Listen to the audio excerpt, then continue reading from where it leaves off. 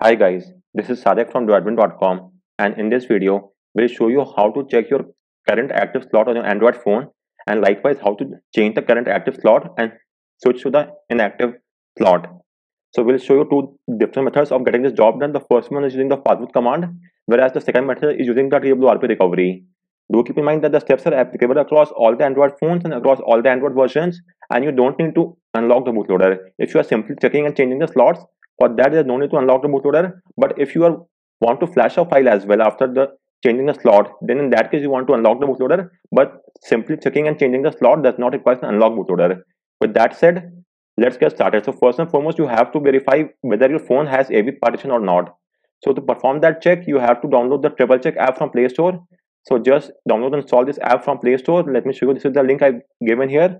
So once you install the app, simply launch it onto your phone and now check out the section next to seamless system updates. As you could see over here our phone is supported to have an AB system partition. So this means our phone has dual partition and we could follow this guide. On the other hand some phones like the Redmi Note 5 Pro does not have a AB partition. As you could see from here it's only showing the seamless system update is not supported and it only have a partition. So these devices cannot proceed ahead and in those devices you cannot change slot because they only have one partition whereas on, on all the other phone that shows as seamless system update as supported for example i have performed the check on my poco f4 oneplus 7T and pixel 6a and all these phones have the seamless system updates. In fact all the phones which was launched with android 8 or 9 out of the box will have a seamless system updates and ab partition. So with that said since our phones are now having the ab partition let's now proceed ahead and change the slots. Let me so for that i'll first off use the fastboot command.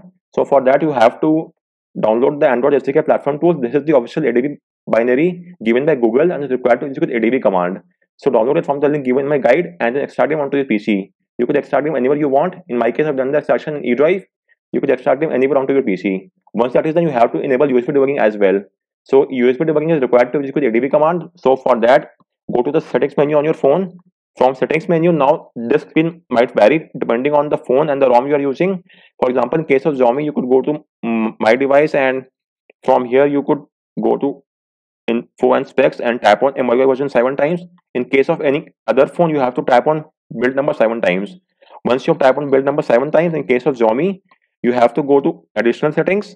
Whereas in case of any other phone is usually under system developer option so in case of Xiaomi, under additional settings, in all the other phones such as Pixel and OnePlus, you have to go to system menu and from there go to developer option and now the rest of the screen will be same in all the phones. So from here, just enable the toggle next to USB debugging. Let me show you once. So enable the toggle next to this and you will get a prompt on your phone.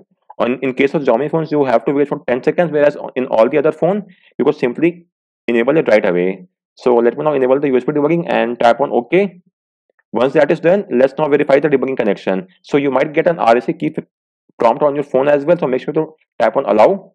And once that is done, let's now verify the debugging connection. So go to the platform tools folder and from here type in CMD in the address bar and hit enter. This will launch the command prompt window inside platform tools folder as you could see. Now just type in ADB devices and hit enter. Okay, just a minute. So now go to the platform tools folder, type in CMD in the address bar and hit enter. This will launch the command prompt window inside the platform tools folder as you could see. So now you have to type in ADB devices and hit enter. Make sure you are getting a serial ID. If you are not getting a serial ID, then unplug and replug your phone to the PC, disable and re-enable USB debugging, tap on revoke USB debugging, use the official USB cable that came with your phone, and use the USB 2.0 port on your PC. So carry out this USB tweaks and make sure you are getting a serial ID. Once you're getting this ID, you will now have to boot your phone to the fastboot mode. So let me show you how this could be done. So for that, go to the platform tools folder, launch CMD inside that, and type in ADB reboot bootloader. So type in this command and hit enter. You could also use the hardware key combination, but the hardware key combinations are not universal. It varies depending on the phone, whereas this ADB command is universally accepted across all the Android phones.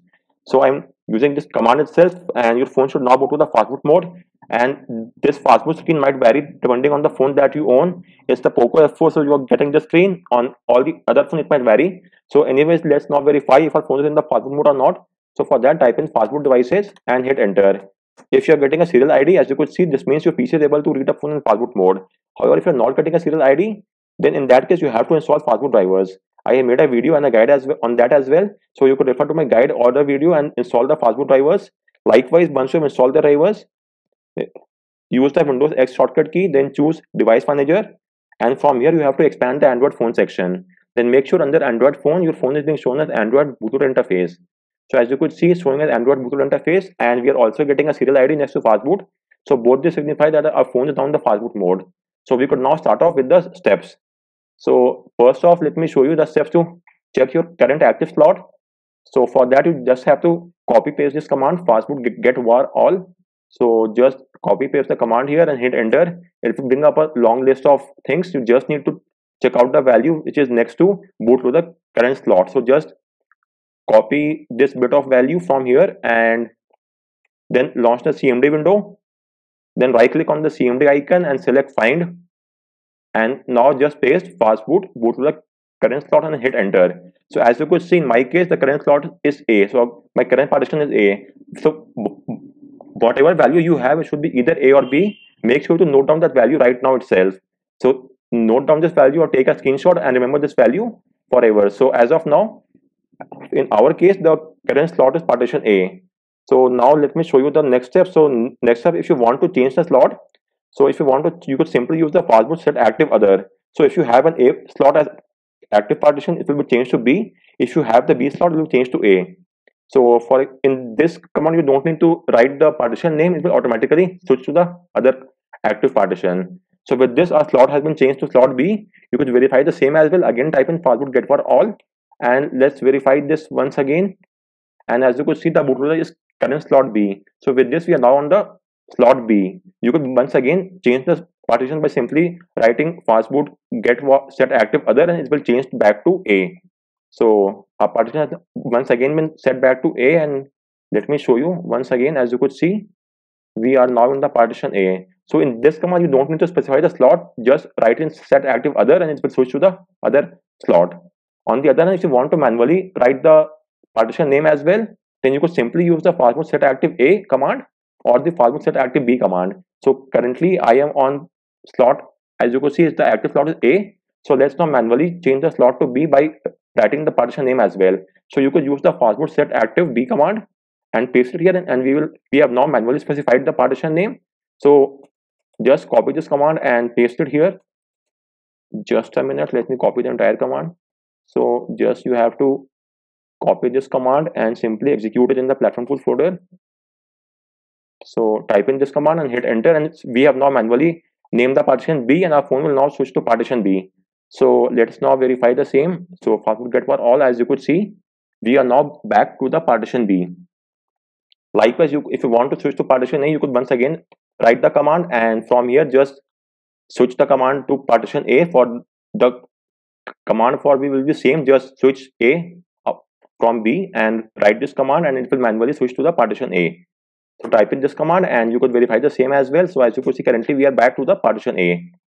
So here's the result. So either use the fastboot set active or you could directly use the fastboot set active other in other whatever is the inactive partition will become active and likewise or you could also specify the partition manually yourself as well apart from that if you want to flash a file to the current active slot then first and foremost you have to unlock the bootloader for that i made a separate guide as well you could refer to my guide and unlock the bootloader do keep in mind that doing so would wipe off all the data from your phone and it might nullify the warranty as well so proceed ahead at your own risk and once you've unlocked the bootloader, you could then simply flash the file using the syntax which is the fastboot flash partition name and file name. If you are currently on the A slot and you want to file the flash the file in the A slot itself, then you don't need to mention the slot name. So for example, if your currently active slot is slot A and you want to flash the system file in the system partition A, then you could simply execute this command itself.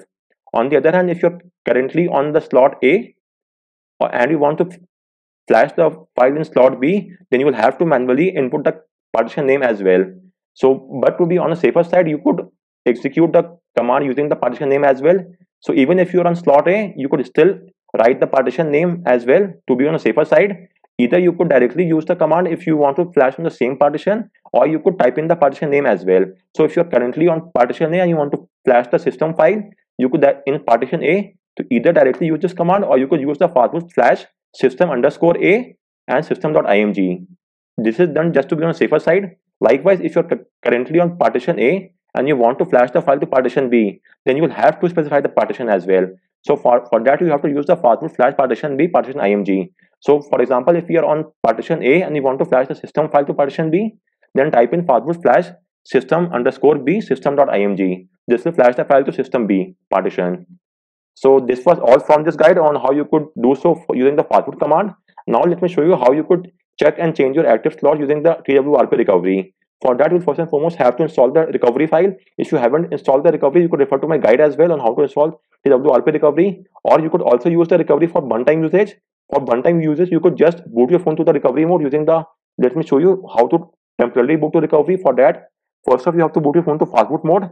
Once you are in the fastboot mode, download the recovery file onto your phone and just rename it to TWRP. Then place the recovery file in the platform tools folder and rename it to TWRP. So the complete name becomes twrp.img file. Now if you want to boot for just one time usage, then you could simply execute the command fastboot boot. So just type in fastboot boot twrp.img and it will boot your phone for just one time usage. On the other hand, if you want to permanently flash the recovery file, then you could refer to my guide and install the recovery file. In my case, I've already flashed the recovery. So let's now boot our phone to this recovery mode. So if you're currently in the fastboot mode, you could use the fastboot reboot recovery command on the other hand, if you are currently in the OS, then you have to use the ADB reboot recovery. In Fastboot, you have to use the Fastboot reboot recovery. In ADB, you have to use the ADB reboot recovery. So just type in the command and hit enter and your phone should now boot to the installed recovery. In my case, I'm using a modified TWRP recovery. So let me show you that as well. So currently my phone is booting to the TWRP recovery. And just to re-verify the same, as of now, as you can see currently, I'm in the slot A as it is shown by the fastboot command. So now under the recovery, go to reboot. And as you could see, it's showing as the current slot as A. So from here, you just need to tap on the slot A and slot B button and the slot will be changed. So if you tap on slot B now, it will not change the slot. So you could now verify the same as well. And as you could see, the current slot is B. Just to be on the safer side, you should once again reboot up to recovery mode and it will we will then verify the same as well. So let's now perform a reboot to recovery. As you could see, our phone is now booting back to TWRP. And with this, the partition should be changed to B. Let me show you. So let's now go to reboot and as you could see, we are now on the slot B. Similarly, you could once again go back to slot A. So for, in some cases, you might get a warning that there is no OS installed. However, if you already have an OS installed, then that's just a false notion and nothing to worry about. You could easily skip that warning message. For example, I have the system IMG file across both the slots A and B. So if I change my slot to slot A, and then I try to reboot to recovery, I might get a warning. So as you could see, I'm getting a warning that no OS is installed. However, just it's just a false positive, and since because I already installed the system file to boot the partition, so I could simply perform a reboot and boot my file back to the recovery mode without any issues. So if you are getting this warning message and you are sure that you have an OS installed, then you could simply ignore this message. So as you could see, we are back in the slot A. Just to reconfirm, I'll show you the fastboot screen. So go to reboot and you could see currently I'm in slot A. So likewise, you could also verify the same from the fastboot command itself as and when you want. But as of now, fastboot command will not work because currently you are in the TWRP recovery. In case of TWRP, as of now, your ADB command will work, but your fastboot command will not work. So if you want to use fastboot command, then you'll have to exit the recovery and boot back to fastboot. For that, you have to go to the reboot tab and make sure to select bootloader. This will boot your phone back to fastboot mode. Before rounding off, make sure to go back to the slot which were you, you were initially. In my case, I was initially on slot A. So just to uh, show you, this was the first time I executed the get var all command and as you could see initially I was on the slot A. So make sure you are on the same slot while you are exiting if you're just performing a check. On the other hand, if you were flashing something, then you could change the slot. That's not a, a cause of concern. But if you are currently have just using for the check, then you could see I was currently initially on the slot A. So as of now, also in the slot A. And so guys, on that note, I round off this video. If you have any queries, do let me know in the comment section and please like this video and subscribe to the channel for more tips and tricks. Thanks a lot for watching and you could now reboot your phone to the OS. Just select the system and it will boot to the OS. So let me show you that as well before rounding off the video. And you could easily switch the slot as and when required. Generally, the fastboot method is used because users don't want to flash the TWRP recovery. That's completely understandable because you could easily carry out this job using the fastboot command itself. If you are simply performing a check, you don't need to unlock the bootloader. But if you want to flash a file in the partition, then for that, for flashing, you have to unlock the bootloader. So on that note, I round off this video. Thanks a lot for watching.